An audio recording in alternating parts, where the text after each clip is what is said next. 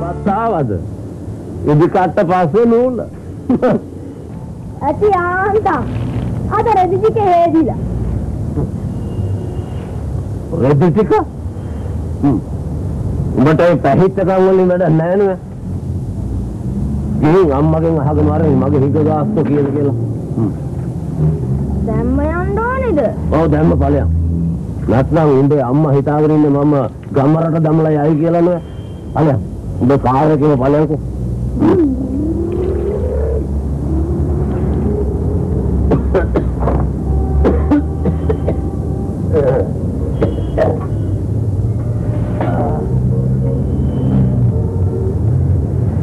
රාහුසිරි අර මන්න පිහිය ගෙනියන්න මුදලාලි මාවන. හොඳට ගෙව්වා මං කිව්වේ මිනිහා ලෝස් නෑ කියලා මිනිහට මාළු ලෑලි හත අටක්ම තියෙනවා වැඩේ ගැන මොකද කිව්වේ? අඩපාඩුවක් එහෙම කිව්වේ නෑනේ. බොහොම සන්තෝසයි මිනිහා පිහි එකක් නෑ රත ගාලා මුවාත බැලුවා ඒක නෙමෙයි මාමි. මම මේ මාමට කියන්නම හිටියේ. අපි කම්මලේම උයමුද? අපි මෙයාගත්තොත් යන වේදමෙන් භාගයක් වගේ යන්නේ. උඹට පිස්සුද ආනේ මට නම් බෑ යන්න අනිත් එක ඕක හැමදාම කරන්න පුළුවන් වැඩක්ද මාම කරදර වෙන්න එපා. මං කඩේට ගිහිල්ලා වළම් මුට්ටි ඕන කරන බඩු ටිකුයි අරගෙන එන්න. සල්ලි ටිකුත් අතට ආපු වෙලාවනේ. කොහොමද ඒක කරන්නේ මම අවුරුදු ගානක් තිස්සේ කෑම ගන්න අර ගෑනු මිනිස්සයාගෙන් උන් තරහ වෙයි ඉතින් අපි පාලිගේ අම්මට කියමු අපිට අමාරුකම් තියෙන නිසා අපි මුයාගෙන කනවයි කියලා.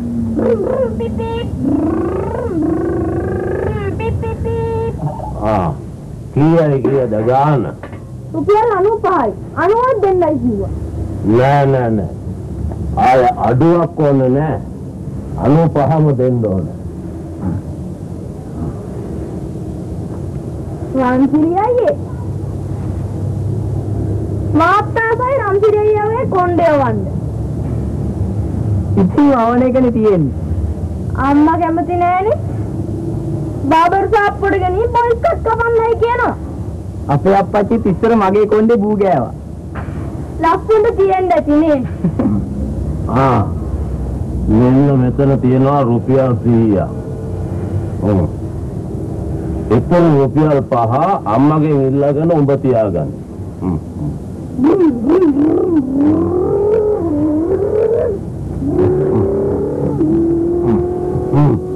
නෑ ඊටු ටික ඔක්කොම උඹ තියාගන්න මට එපා මාමි. නෑ නෑ උඹේ මහන්සි උඹම තියාගන්න මට ඕනේ නෑ. මට ඕනොත් මාමගෙන් ඉල්ල ගන්න බැරිය. මේක උඹ තියාගන්න මට මොනවා හරි ඕනෑ වුණොත් අරන් දීපන් ඔය සල්ලි ළඟ තියාගන්න එක වස්ස කරදරේ. ඔක්කොම කරදර වලට මුල සල්ලි තමයි.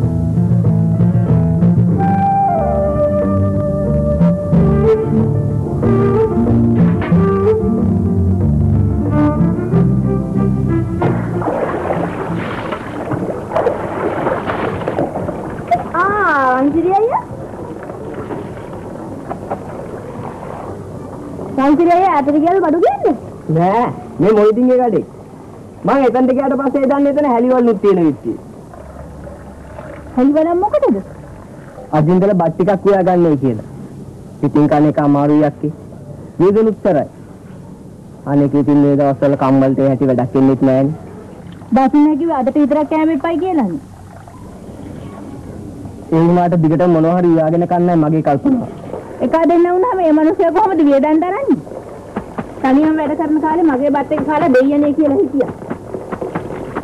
එහෙනම් ඒකෙනුත් මටයි කට්ටු වෙන්නේ. දැන් ඉතින් කොහොමද අපේ වීදම් පියව ගන්නෙ? කොහොමද බා? උඹ හැම යන්නේ අරුත් එක වජනෙට නැති බැරි අපිවම කණ්ඩාපු කාලකන්ණියා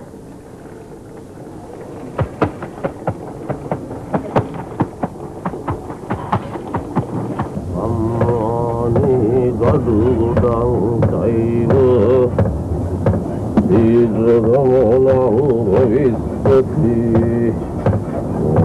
එදා සියා මට මුළු කතන්දරෙම කිව්වේ නෑනේ. එදා එදා උපාලි මයිනහම ඇදාට ඉඳලා ජීවිතේ ඉතින් මම මොනව කරන්නද අදිනවා අදිනවා ඉපාලට හිටපුවා මයින්හමත් අමතකයි රත්නසාල් ඇවිල්ලා බෝල ගහන්න කතා කරා. ඒක ඉතින් මම මොනව කරන්නද? අපූර්වේ මරණෝදිසෝවා අසුක්කේ දැන් ඉතින් ඕක නවත්තන්න අකට පැත්තට පස්සවත් මොනවද මයින්හමාදී මට ඒක මතක නැති වුණා. කමක් නෑ මාමේ අර කතාව ඉතිරි ටිකක් කියන්න මට කවුරුවත් නැති වෙලා ඒ කියන්නේ රන්සිරියෙන් ඉස්සරලා මයින්හම ඇදලා හැම උදව් කර උපාලි. මගේ කතා පෙට්ටිය හිස් වේගන එනකොට ඕන්නේ යාන්තම් රන්සිරිය ආවා ඉතින් අර කුමාරයා කුමාරියෝ හොයාගෙන කැලේ මැදින් යනවා. එතකොට ආ තාපසයෙක් හම්බුනේ. හ්ම්. ඊට පස්සේ මොකද උනේ? දැන් ඔය තාපසයා දන්නවා අර රකුසා කුමාරි හංගලා ඉන්න ගල්ගේ ගැන විස්තර. හැබැයි ඔය තාපසයා කායෙක්වත් කතා කරන්නේ එහෙම නැහැ. ඇයි? එයා බුරුද? ඕන ඇති කතා අහන්න එපා. එයා ඉන්නේ ධානයකට සමවැදිලා. බුල්ල දාගන්න ගේ. ඉවල් කඩන මහත්තුරුද කොල්ල. අම්මා කිව්වා මහත්තුරු වගේක් වෙන කතාවක්. ඉවල් කඩන මහත්තුරු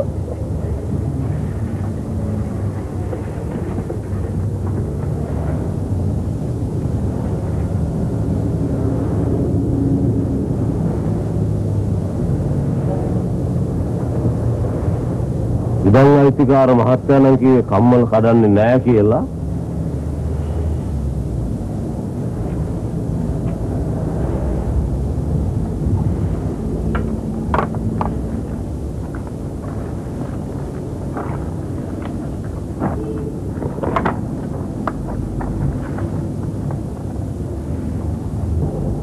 මහත්තයා මේ ඉදම මනින්නේ මනින්නේද මයින් වෙන් කරලා වැඩපලක් ගහන්න. ඔය පෝල් කලින් යල නෑ නෑ ආ ආ රයිට් මේක 5.2යි අය ඔයාලට නෝටිස් දීලා නැද්ද?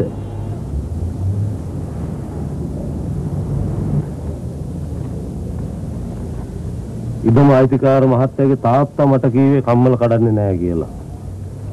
වෙන්න පුළුවන්. කලින් ප්ලෑන් එකේ හැටියට වැඩපල තිබුණ ඉස්සරහට. ඒත් එක පස්සේ වෙනස් කරලා.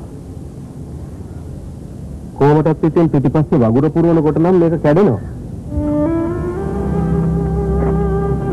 අයි ඉතින් බුල්ඩෝසර් ගන්න ඕනේ මෙතනින් මට එහෙම දෙයක් කලින් කිව්වේ නෑනේ මහත්තයෝ. අයි මාස තුනකට ඉස්සලා ගණන් දීලා නැද්ද?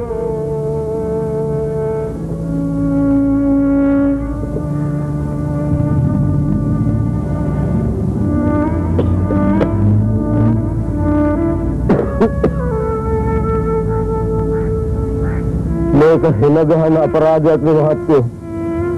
මං අවුරුදු 25ක් තිස්සේ පදිංචි වෙලා හිටපු තැන. ඉතින් මං කරන්නේ රාජකාරියක් නේ හැබැයි ඒක උසාවි ගියොත් නම් වන්දියක් ගන්න පුළුවන්ද උසාවි උසාවි යන්න මට කොහෙන්ද සල්ලි?